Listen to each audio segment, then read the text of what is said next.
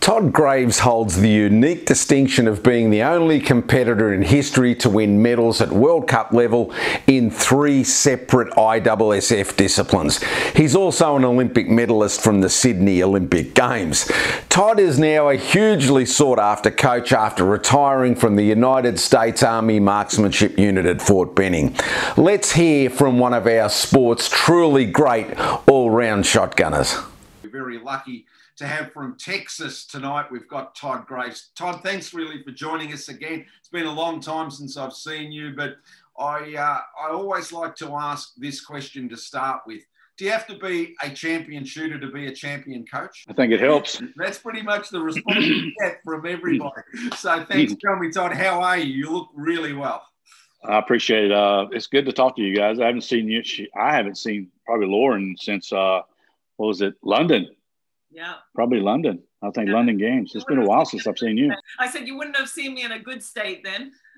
No, it was all good. I mean, it, it is what it is. I mean, it's like I like I, I, you know when I when I took the job, like we were talking about earlier about when I took the team job, they wanted me to do it, so I took it. I missed all the shooters. I wanted to see all the shooters. You know, I enjoy coaching the shooters. You know, and, and I love being around the game. That's why I'm still here today. If I didn't love it, I wouldn't be doing it but it's always good to see. You know, it's like we lost two good shooters this year. I think it was we lost uh, Kevin Gill, you know, yeah, really. this year, which is very sad, and we lost Peter Malik, you know, last year. Yeah. Know? Sadly, so, both guys aged out, age, Todd. So I know, I know. Scary part about it.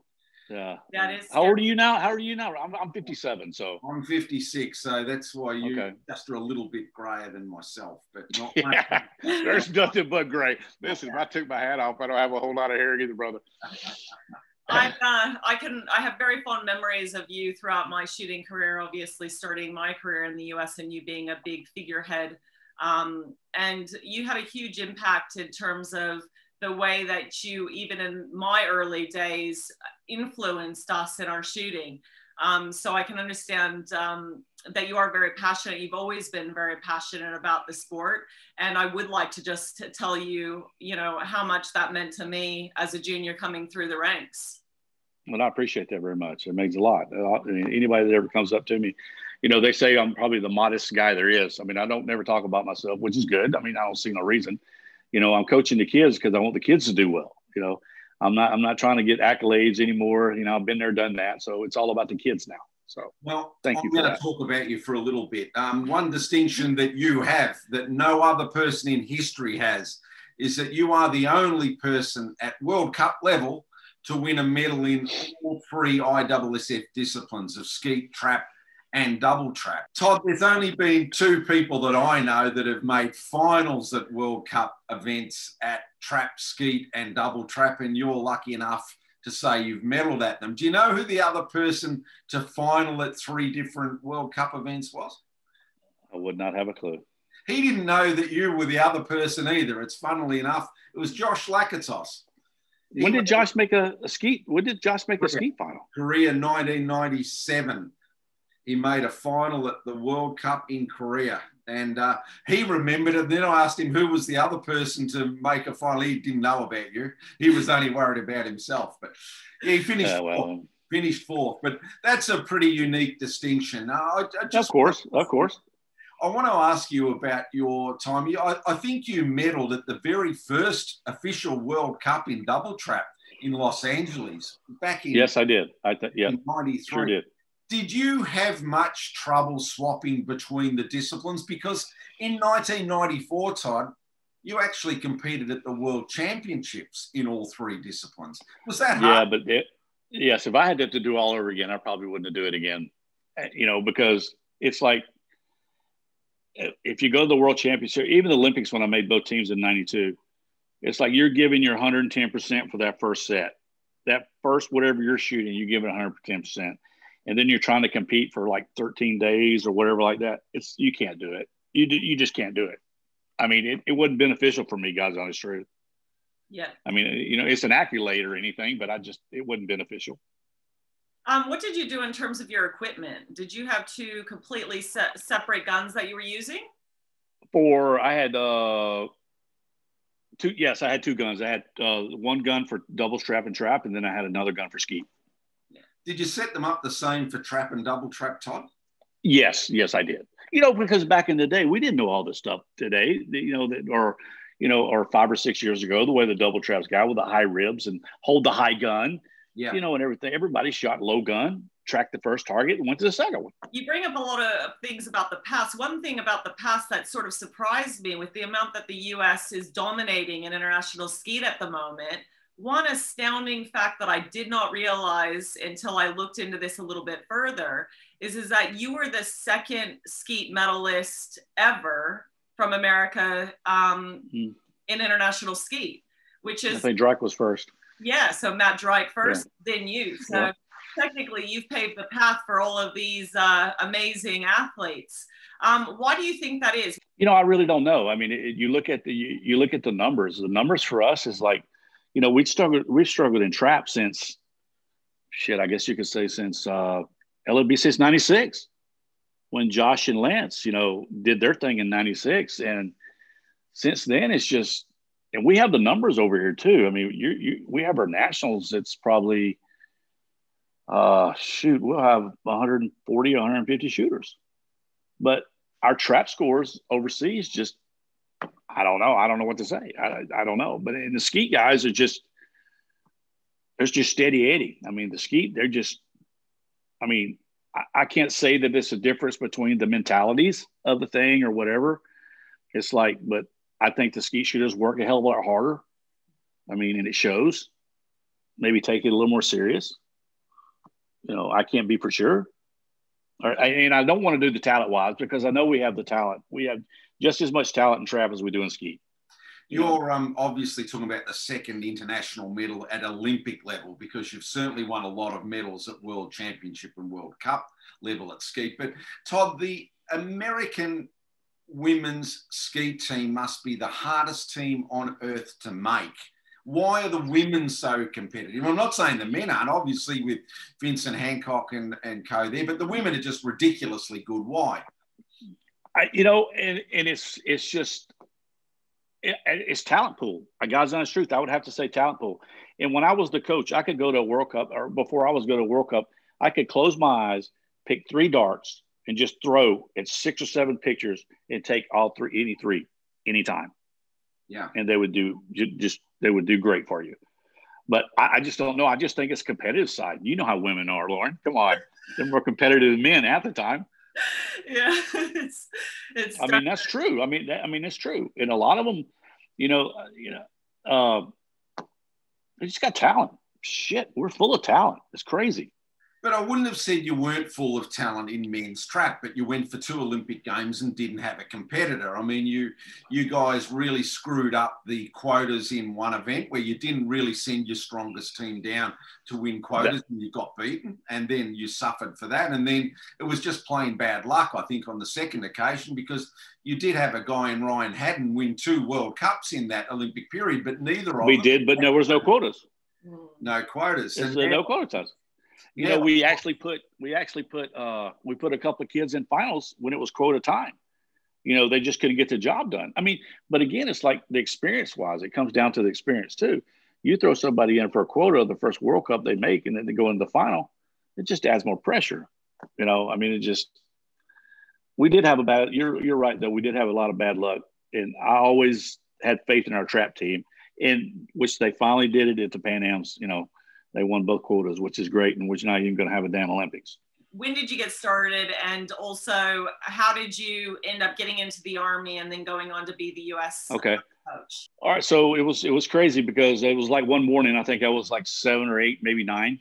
Uh, my dad and I were going to town, and we saw a bunch of people in the field, and we decided to stop and just see what it was. And uh, it was a little trap shoot. You know, they had a three quarter inch piece of plyboard with a pull string all the way to the machine out there with the guy sitting behind the plyboard. He called pull and he slings it, you know. And dad said, Would you like to try it? I said, Sure. So we went to town. I had a 410 topper, single shot. bought me a box of 410 shells, come back, shot the little competition, and finished third. And dad asked me, he says, Would you like to try this? I said, Sure. So he went straight up and bought a machine. We went had a bunch of land, clear some land, uh, and started setting it up from there. And then he got progressively got into one trap field. We built two trap fields, and then finally we went to automatic machines. You know, and then and then I just started getting better and better and started traveling a lot. One of the best army trap shooters we had back in the day was Alan Hayes. He now he was a kid that he was from Mobile, Alabama. Okay. And when I was a kid shooting in Laurel, Mississippi, there, I was shooting off of Hancock's and all that stuff. My dad took me down there, and there was a kid down there named Alan Hayes, and he put it on my ass. And I, I mean, he was good, and he was really good at that time. And that's pretty, that's what got me started, really wanting to be good. And Dad really starting to build the machines up and build the ranges and all that stuff because of Alan Hayes. But uh, he was the army shooter with me too at the same time, you know. But back to the thing, and then Dad started building. We started traveling, started traveling, started traveling a little more, and started shooting. And I got better and better. And there was a guy by the name of Ken Gilbert that was actually in the marksmanship unit at that time, and he was from Laurel, Mississippi. And he had put a good word in for me about there's this kid from Laurel talking to the coach, Burl Branham, at the Army. And so I graduated high school and I went straight to the oil field, offshore making money. Army wanted me. Burl kept calling, wanted me, and I said, "No, Dad, I'm not going in the Army. I'm making big bucks down here in the oil field." You know, and I actually woke up late one day. Uh, my alarm clock didn't go off, and I didn't. I didn't even call anybody. I didn't do anything. I packed all my shit, drove straight home, and joined the Army. What year was that, Todd? 1984. Yeah. 1983, I'm sorry, because I joined the Army in January of 84. So you were at the peak of Danny Carlisle and Matt Dryke. Yep. I had to deal with both of them. You couldn't have got two better skeet shooters to model yourself on. You know, but the thing about it was, it's like people always ask me, you know, back in the day, the way we stood, you know, nobody stands like we did back in the day. We squatted. Yep. You know, matter of fact, there was a guy from Australia. I remember we used to shoot down in uh, Brisbane they called him the snake. You remember the guy? The trouble with what happened in Australia, Todd, is that sadly for the Australian ski team, Matt turned up at our nationals one year and they all used to stand straight. And then Matt turned up, and of course, and Al Mullins, and annihilated everybody. And then for the next five years, most of the Australian ski team were at the chiropractors every second weekend. That's it. Hey, I did the same thing. We only knew one way because hell, it was Matt Dryke. He's world champion. He's Olympic gold medalist that's hell, we got to shoot like him, you know, until we all of a sudden everybody's back started hurting and knees started hurting. And then we started straightening up a little bit. So uh, it probably leads me now I know where your roots in the army were, but you had such a beautiful, smooth technique at uh, skeet. I loved watching you shoot it, and you were very smooth at trap also. But skeet, skeet was your game. But you didn't really enter the army as a skeet shooter, though, did you? No, I was a trap shooter. I was recruited as a trap shooter. Yeah. So what? Where did you cross the dark side? You know, at what point? I mean, the bright side. the bright side, yeah. uh, but no, uh, coach, you know, I, you know, you remember Burl Branham, you very well, very well. You know, and and so he would shoot skeet at lunch every day for exercise. And half the time I was a private, so I didn't bring. I brought my own lunch. You know, couldn't afford to go out to eat every day. You know, so he'd say, "Come on, Todd, let's go I'm going to shoot some skeet. You pull for me. So I had pulling for him. I was pulling for him every day. And then finally I was like, Burl, I'm out here. Won't you let me shoot? Won't you let me shoot? He's like, no, no, no, no, no. and it just kept going on. I was like, Burl, let me shoot. Come on. And he says, all right, I'll let you shoot. So I didn't shoot it too bad because I've been watching him shoot, you know, trying to pay attention to what was going on. And I shot it really well. And I said, Burl, you should let me shoot a match. He's like, oh, no, you know, and I was like, come on, Burl. He said, all the rest of the guys are getting missed off, blah, blah, blah. I said, bro, I can do this. So I shot a match. He finally let me shoot a match at Fort Benning because all the trap shooters, they were pissed off because they were having to work the match and I was getting to shoot the match. you know, so, but I finished like second or third, you know, and beat all the skeet shooters there except for Dryke and probably Carl or whatever. I can't remember. But uh, so he let me start shooting after that. You know, after that, I think the first time I went to nationals, I finished like second in trap and second skeet or some something like that. So Todd, did you shoot a upright stance or did you originally squat like Matt and Carlisle? I, I originally squatted. We all did. I mean, that was just that was the only way we knew. That was it. So what made you stand up straight? I just thought it was effortless. It was more. Uh, it's like when you squat, you have to work everything. You have to work your legs. You have to work your upper body. Everything has to work the same. It's like I started standing up straight because it make it simple You know, I could move from the hips and let the hands go and all that, and it, it worked so much better. And it was effortless to me. I started, you know, it was more effortless instead of having to really pay attention to your bottom side. You know. Can you sort of tell us how, when you went from an athlete to a coach, um, I know you've coached for many years in, in a wide variety of capacities.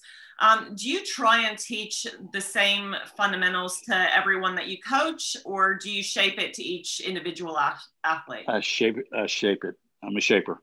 Yeah. I'm not. There's there's no specific style to shoot ski. I'm sorry. There. I mean, I don't care who says it or whatever it is. There's no style, and most every coach has a style. I don't have a style. You know, I coach what what that kid can do. That's what I coach.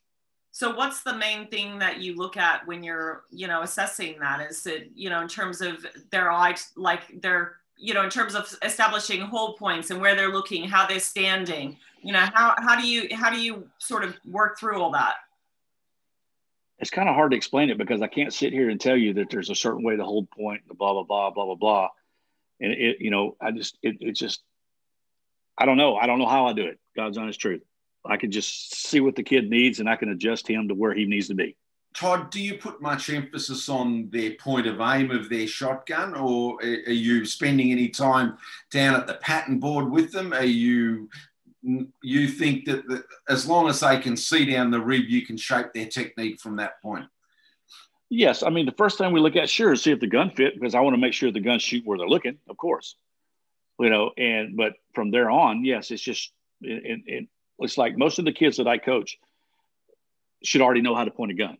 God's sure. honest truth, because you know to that level because it's like if you train with me, you're going to get a workout. You can't. I can't have a a, a 12 year old or a 11 year old that doesn't have the body strength to shoot uh, 30 boxes of shells in a day. Mm-hmm. You know, so for me, it's like if I can tell what that kid's doing on station two or station three, I can adjust him to how his body functions to that target when it appears. Yeah, no, I think you've probably hit on it at the level of the shooter that you're currently coaching. They're pretty polished already, and you're probably mostly helping them a just fine tune their fundament. I mean, fine tune their technique and also their mental strength to be able to compete at the highest level with the confidence that's required. That's sort of what I'm hearing. Is that uh, would that be accurate? That that's accurate. I mean, the thing about it is, it's like if I get a kid that's new, you know, I could I would have to, you know, if you come take a lesson with me, and you're a brand new shooter, if you don't take four or five more lessons with me, it's not going to do you any good. Yeah. You know, because every time I see you, I'm going to change you. Mm-hmm because you're learning separate things as it goes. One of the um, trends I've noticed in skeet over the years is that years ago everybody shot with a 28 inch barrel, and then of course 30 inch barrels yeah. in. Um, and now I'm noticing more and more skeet shooters don't actually use skeet chokes. Are you still a fan of open skeet chokes and 28 inch barrels? No. Tell us what your ideal setup is for international skeet. My setup, well, hell, I shot 29 and a half yep. when I shot. I shot 29 and a half where my choke would make it 30 inches. Uh, you know, I had a kind of a, I started shooting a real tight choke because that 24 grams, they run a lot better with a shot string, a little tighter. When you say tight, how tight? Are you well, I'm not modified a quarter choke, improved cylinder choke? Well, it depends on where we go. So if I if I have a student that goes to say Fort Benning, Georgia, and shoots a selection match, we're going to shoot IC light mod. Yep. If I go to Colorado, we're going to go to Skeet IC because of the you know the altitude and stuff. Is that because um, obviously the altitude at, at, Colorado, but do you like the tighter chokes also because of the reverse pairs now on stations three and five? I mean, you can break them. You can break them with open chokes or whatever, but it's that shot string to me that makes it a lot better. You can hit miss. You got a little more a little more leeway. Back to your life in the marksmanship unit, and I spent a week with you at some stage over there. It was virtually at the end of your career, and I can remember sitting in that unit um, in the headquarters there with you for a week, and I was watching you and I couldn't say that I've seen a more bored person in their life that was burned out of shooting than you were. You were counting the days down. I think the highlight of the day for you was feeding the rattlesnake each day that you kept in it. but did you get burned out? Is that a fair assessment of how I saw you? That's, yeah, that's pretty much a fair assessment. I mean, you think about it. I mean, I was in the Army, I retired in 2009. So I was there for 25 years, you know, and and it was like when I first got there, and you know, when when you first get there, you got the Carlisles, the Drykes, and everything. Sure, I'm going to be the first one on the range. I'm going to be the first one opening the bunkers and the ski fields, or whatever the hell we had to do, being a private or whatever.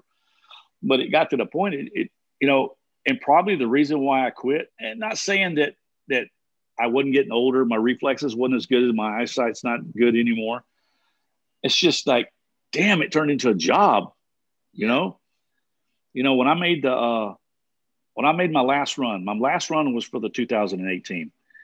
And I thought I was training enough. My wife and the coaches up there, they said I wasn't, but I thought I was ready when I went to the trials. Obviously, I wasn't. I finished like fourth or fifth, you know, and my wife still to this day tells me, You didn't train. You didn't train hard enough. But again, I said, By God, if I didn't train hard enough, I don't want to have to do it again. You know, the best part of matches for me is when that summit was over. Yeah, that's a sign that you're burned out. Would you still recommend, though, Todd, that for a, a new up and coming shooter in the US that isn't really clear on what they want in their life, apart from winning an Olympic medal, would you still recommend joining the unit? Yeah, I mean, I would because, I mean, if that's your goal in life, you know, if that's your goal in life is to win an Olympic medal, I mean, it's probably what do we have in the United States? Maybe one, two, three, maybe four maybe four shooters that can make a living shooting. You know, the rest of it, you're coming out of your own pocket to buy your shells and hopefully you get a sponsor of some sort. And being in the you're getting paid to do everything, you know, plus you're getting shells and, you know, and I mean, you know, and targets and stuff. Yeah, hell yeah, I would recommend it. I mean, if that's if, if your goal in life is to win an Olympic medal or win a world championship or anything, hell yes, yes, yes. Unless you got a shitload of money and you want to do it on your own, you know, that's just the way it is. And you know that. Yeah, I mean, it, it leads to a lot of wonderful opportunities as far as being able to pursue the sport at the highest level while being, I guess, paid. And and you you would have had a lot of opportunity to travel and experience the world in a way you may not have been able to do if you hadn't have done that. No, there's no doubt. There's no doubt. I owe everything to the army. I, will never say you'll never hear a word out of my mouth about the army. That, that they, I owe everything to them you know they they they allowed me to do what i'm doing. And i'm one of the fortunate ones that now have come off of it you know got to coach the us team for six years and here i am still doing it you know. Not very many people can say that. Your transition from the army and then as you said as the coach of the us shooting team how did that come about? Well it's funny. I guess it was uh, i was i was when brett took the team over he asked me if i could help. And i started going to a few matches with him and helping them and stuff like that. And uh and and then it just so I would travel, be an assistant coach, blah blah. And then all of a sudden, a month before the games in London, I got a phone call that said he got fired. You know, and we want you to take the team. And I was like, I am hard, believe it or not, I am hard. I didn't jump on it. I was like, well, look, I have to talk to my wife and just see. You know, and I talked to her and she was like, yeah, you should do this. You should do that. Cause I know all the shooters. Hell, I shot with them all. So I know how to coach them and everything. And uh, so I did it. Then got done with the games. And I remember Russell, I think it was you that was telling me I was the most winningest coach at the Olympic Games. we had first two events, we had two goals, right? Absolutely. Tell me, Tom, though, it leads like to, I had a lot to do with that. It, it leads to a good question, though. What's a better system for the US and not just the US, I guess for any country? Does a national team need a national coach, or do you need a team manager that then supports their individual coaches that know the athlete five times better than the national coach. That's that's one of the hit and miss things that we've been over for a while, but it's I don't know if you could ever do that, and the reason being is because you've got arrogance, and you know that. Yeah. You know, so if you've got if you've got somebody over there that's shooting this World Cup or whatever, and and uh, you're not his coach or whatever, and you're trying to help him, and then somebody's telling you you need to stay away from my shooter, blah blah blah it's it's a no win situation. So it doesn't matter. It, it it if you tell them something, it's great. If you don't, it's great. because you know it's always going to bite you in the ass. Well, if he would have done this, you know, or he would have done that. It's a real loaded question, and unfortunately, I, I expect no, you look, well, answer. Well, you look at the same thing. I mean, I remember, and this is, you know, I remember when Adam took the job. You know, when Adam took the Australian job, and I said, dude, be prepared. What you know, and he would ask me a lot of questions and stuff. And how long did he last? another question. Another question. Um, and I've asked this of quite a few people in the US team. Um, if if Todd Graves was funding the US Olympic shooting team, it was coming out of your your money. The selection system that you guys use is 500 targets, and whoever hits the most, if you've got two spots, goes. The Italian team, they have a system where the Italian coach just picks the team, and he, I'm sure, believes that that might be the better system. What's the best system if you want an Olympic medal? That the coach picks the team, or you have a self-selecting system? All right, so this okay. I wish I could choose my team every time. yeah, I, I, it's an unusual response, but I, I, I take it you would say that because you believe you know who would, would perform on the day. If if you were the coach of the current team that had that system, you may have picked Kim Roddy, and you may not have picked Derrick Mein. Oh, and, and the thing about it is, it, it, it is crazy. But I mean, we could sit here and talk about this all night long. I mean, Derrick did what he was supposed to do. I, you, I, I'm not going to take that away from him. I mean, he came in sporting class shooter. He come in and kicked shit out of our trap shooters. But but so, you probably under the Italian system. No, probably not. No, no, I wouldn't have. No, I wouldn't have. And no. under the Italian system, you would have picked Kim Rowe, probably. Probably so. How can you go wrong? Yeah, I know it's tough. I don't know what the right answer is either, but you were very clear in your response that you'd want to pick it if it was coming out of your back pocket. Of course, I would. There's, I mean, there's, there's no doubt about it. I mean, who knows the shooters better than the coach? Yeah but I and I've seen them all respond to certain things, and some of them not. I mean, now the second slot, I don't really know who the hell I chose. Well, it's interesting because here that's sort of what they've gone down the path of doing. They have actually made it so that one person earns their spot, which is supposed to be creating a bit of depth. And then they leave the second position, or that's what they've done for this period, as a panel selection. So it is a bit of a 50 50. So, who, so who would be on the panel?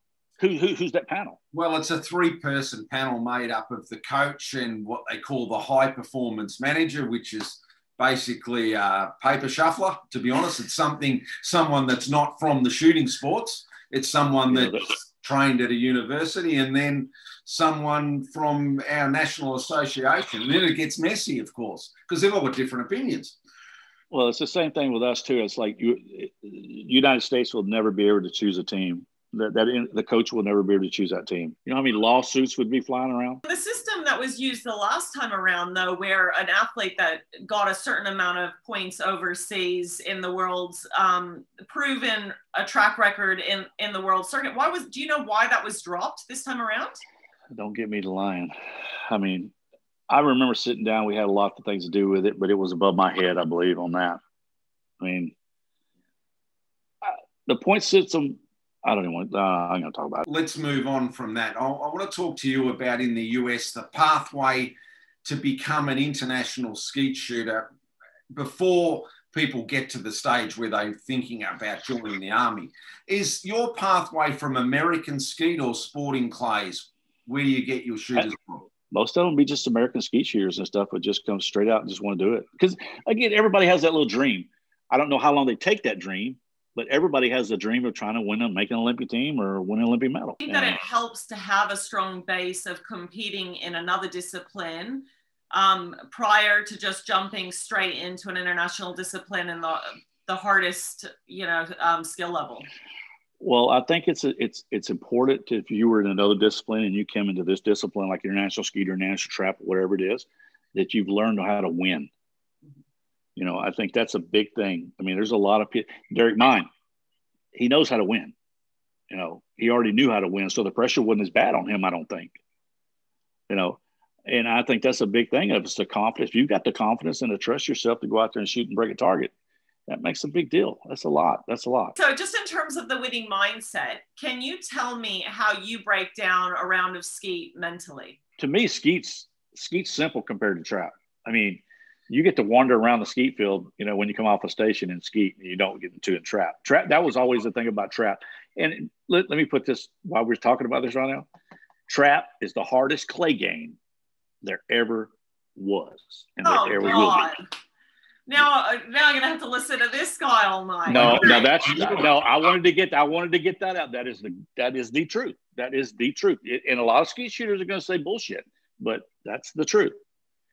But again, trap, you have to stand out there for 30 minutes, whatever you have to do, whatever you got to do. But skeet, it was easy for me because I could shoot the station, I could focus for that five or six seconds and get off, and then think about whatever else I wanted to think about, you know, to keep me calm. You know, I don't want to think about what's going to happen in just a second. I want to stay calm for a little while and then ease into the next station, you know, and do my deal for that for five or six seconds and get out. And again, it's just eat, work myself, work, you know, work myself around the range, you know. So it was so much easier for me did you have tools that you used to stay calm? I've heard of people counting and you know nah, singing songs nah. and all sorts of things. I, no, I had no songs. I had no repeating. I would look in the stands, look at somebody, and make fun of them. And it, it's just it's just simple shit. And I was fighting demons just like anybody else too. But to me, the demon fighting is if you can, you know, you got something negative popping in your head, you can back it up with a positive just real quickly and just get it out of there. And by the time you get on the station, it's still positive. You know, you can think about all kind of stupid shit when you're off the station, but when it comes to it, I was fighting demons just like anybody else. You know, and I, everybody fights them. I mean, even in Olympic final for me when I won my medal, you know, I was when I missed my first target, I thought I was still tied with somebody, and I remember remember it was a low five, and I looked at the scoreboard and it said I was one up, and I was remember who it was. It was Hennie Dompeling, and uh, Nell Nell was uh Nell was his coach. You know, the girl from Holland yeah. and uh, and I was like, no, she'd be jumping up and down right now. The scoreboard was wrong. So I went to six and I broke six. Felt really good. Went to seven. The first thing that popped in my head was, oh my God, I don't want to lose this on a baseline target. You know, oh, what am I going to do? Miss low seven here and just screw it all up? And that's just, you know, shit like that's popping in my head. Then I fight it off a little bit, got done with that. You know, went back to, didn't go to eight. Oh my God, it would suck if I missed a low eight stupid. Just amazing how the brain works. Was there anything better in your career than going overseas and then not listening to the Italian national anthem? Listen, and I'm gonna be God's honest truth with you, and I'm glad you brought that up. That was my goal. That was my goal as a U.S. team coach. That was my goal was to go to a World Cup and never hear that freaking anthem. I would talk to the shooters about it. I would tell the shooters straight up. I says, "We are not listening to the national anthem in Italy here. It's not happening." Todd, I want to ask you a hypothetical question, um, and a lot of people will be interested in your answer because you are really the perfect person to um, give me an answer on something like this. If you were in the American US skeet team and you're the coach and you're also shooting in it, and you need two other people, but I'm going to give you three names. Who would you like to join you? You can have Matt Dryke, Dan Carlisle, or Vincent Hancock. Who are you going to leave out to join you in the team? I'm going to leave Danny out. Wow, I thought you might say I'm going to step aside and let those three shoot, but that's the perfect answer. But He's just a, being a yeah. ass. It's a tough. No, that's fine. I mean, why not? I mean, shit. Right now, I, I mean, I probably couldn't hit shit right now, but back in the day, yes. It's a tough team. When you look at those names, really, it's a phenomenal era that you've grown up in, and you you were at Benning with all of those skeet shooters. Um, it, it must give you a lot of pride to be a part of that historical era of American shooting. And it was. I mean, the thing about it is, it's like you know, back in the day, and like the, the back in our day, you know, the the '80s and the '90s and and all that our goal, uh, and this is no bullshit, our goal when we shot national championships for any match we had, our goal was to put six black vests in that final. You know, we didn't want anybody, no outgo, you know, with no no somebody from outside to make a final. Was there that big a rivalry between the army team and like the guys from Colorado? Yeah, like like yeah, like like like Lack and Bade. Yes, there was. There was a big. It was it was big. It was pretty big back then. It was healthy. I mean, it's not. It was a health. Oh, it was health. Yes, yes, it was healthy. No, we didn't hate each other or anything like that. But when we stepped on the field, hell yeah, we wanted to beat their ass and they wanted to beat us. I mean, that was a big deal back then. One of the things that I can remember is just the amount of preparation and pressure that goes into preparing for a national event in the US because it is truly world standard to be able to even just make the team.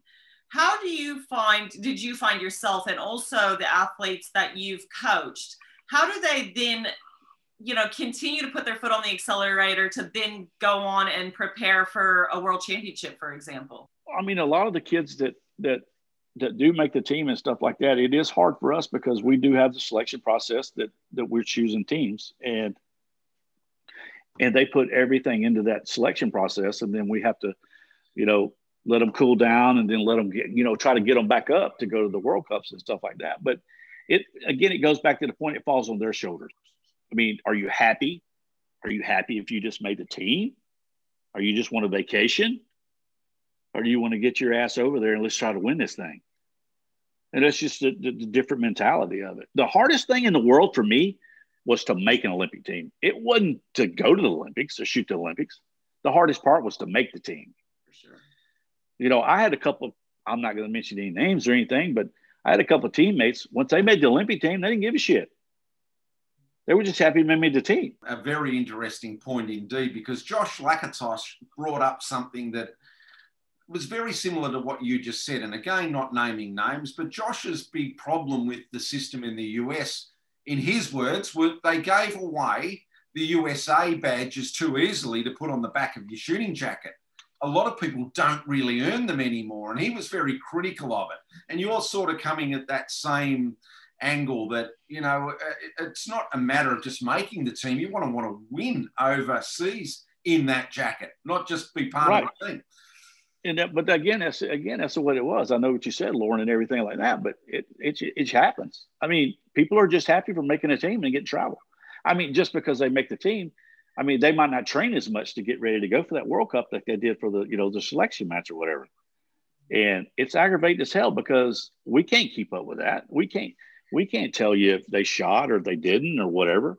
I mean, we had no structure for that. Uh, one last question that we've asked quite a few other um, athletes that have got a history in the sport like yourself. You were lucky enough to get in the sport when there was no finals at all, and then you saw the introduction of a 25 mm-hmm. target mm-hmm. final, then several variations to get where we currently are at the moment. What's your opinion on what is the best final system for an athlete and maybe the sport. Are they the same? I'm interested what you think. You know, we've been through it so much, and I, I bitched and moaned, I bitched and moaned, and I bitched and moaned about some of the stuff that we have to go through. I mean, you know, it's like the the the, the double shit they got going on now, the doubles trap, or in the you know their the team events. I'm sorry, the team events. You know, they've been through so much crap on that. I mean, and we we sit down. They want ISSF always asked me a lot of questions about, hey, can you come up with something like, like Kilty and all them guys. I said, sure, we'll sit down and try to come up with something. And we did. Eller and I come up with something awesome, you know, but they turned it down because it, it you know, Pear didn't come with with it, or or Italy didn't design it, or, or, or something like that. Because you know, the ISSF is is kind of crazy because ISF's a bunch of chicken shits. I mean, I mean, all, all they want to do is, is, is do everything for them. Half of them wasn't shooters. Half of them don't know what what's right and what's wrong and, and it pisses me off because they don't want to they don't want to piss the European countries off, you know, and stuff like that. But when we come up with a good idea or whatever, it's not good enough for them. Even though they sit there and say, "Hey, Todd, come up with this. Hey, can you do this? Can you do this?" I had so many rule changes for them that was proper that they never even thought about. You know, but the, the final systems that we've been going through, there was nothing wrong with the old final systems that we shot the 25 you you know, you shot your 25 after your freaking qualification. That's it. That's all you need. You're saying that's yeah, add the two together because yeah. I got so tired of, of somebody going out and shooting a 125, shooting a 125, and they can't carry that score into their final. You start from scratch. You got a guy that busts his ass for two days and breaks 125. You know, he breaks 125. He don't get to carry that 125 into nothing. He don't get shit out of that. I know any athlete that agrees taking your qualification score away. But see, that's where I don't understand ISSF because why don't they understand how the shooters think? Not because they want to do it because of them. They're trying to do the TV thing. I understand that. You know, we're trying to get more television, but we're never going to be like golf. We're never going to be like, you know, anything like that. It's not going to happen. You know, you shoot the 25 after you carry a score in, well, that's of that. You know, that's of that. And then when they come up with a 16, who shoots 16 targets? what the hell? They ain't enough to do anything. And then you got skeet. Now, here's one of my big. This is one of my big bitches here.